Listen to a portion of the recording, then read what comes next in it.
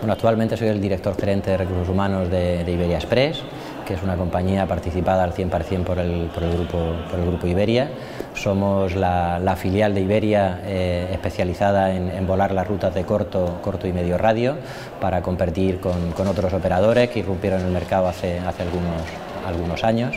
Y, bueno, mi, misión dentro de Iberia Express pues, pues está muy relacionada fundamentalmente con lo, que, con lo que es la gestión de las relaciones laborales, fundamentalmente de tripulantes técnicos, pilotos, tripulantes no técnicos, eh, TCPs y, bueno, el personal de oficina.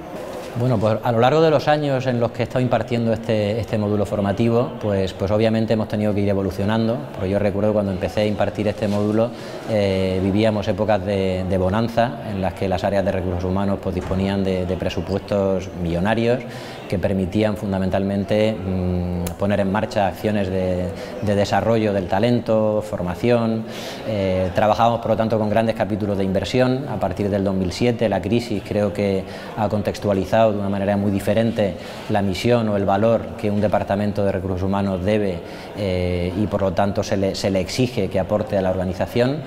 Y, básicamente yo lo que diría es que el cambio eh, está muy relacionado con tangibilizar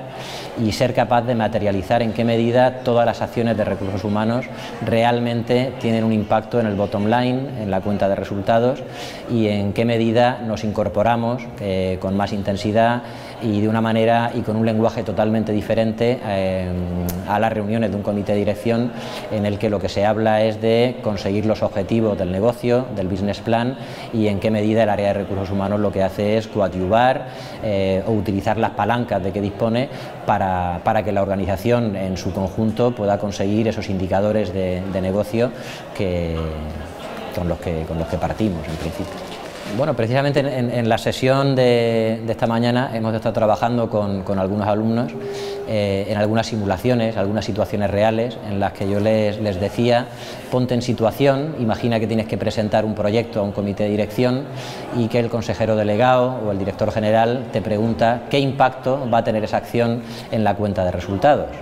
Básicamente lo que les intentaba hacer ver es que eh, estar... Mm, ser capaz de entender los indicadores financieros, como son el, EBIT o el retorno de la inversión para el, para el accionista, eh, puede que hace años no fuera muy relevante para un profesional de recursos humanos, pero hoy eh, la realidad nos pone en un contexto en el que si no somos capaces de demostrar que todo lo que hacemos realmente impacta en la consecución de los objetivos del, del negocio, pues realmente no tiene, no tiene valor. Tanto es así que si muchas de estas acciones no sirven para conseguir estos objetivos, pues al final sencillamente no se, no se hacen. Yo entiendo que las competencias de un profesional de recursos humanos en los últimos 10 años han, han cambiado, han evolucionado.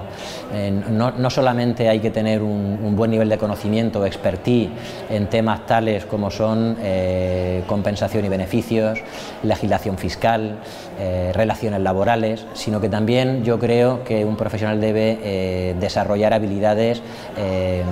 numéricas eh, y habilidades relacionadas con todo lo que son los indicadores financieros, de negocio, eh, estratégicos. Es decir, yo creo que el profesional de recursos humanos debe ser cada vez eh, más generalista y capaz de entender eh, mucho mejor al resto de áreas, no solamente la financiera, sino también el área de, operaciones, porque al final nos hemos convertido en un colaborador necesario que lo que hace es proporcionar a los directores de otras áreas funcionales de herramientas, de técnicas y de acciones que permiten que, ellos en sus respectivas áreas puedan en su día a día realmente ir consiguiendo sus, objetivos. Por lo tanto, yo diría que ha de ser generalista con una visión, una visión estratégica, fundamentalmente, y con capacidad para ser muy flexible y sobre todo para, para entender que lo que tiene es que que dar un muy buen servicio a su cliente interno, que son los managers, y el resto de los empleados, a los que al final pues hay que hacerles percibir que realmente trabajan en la mejor organización posible.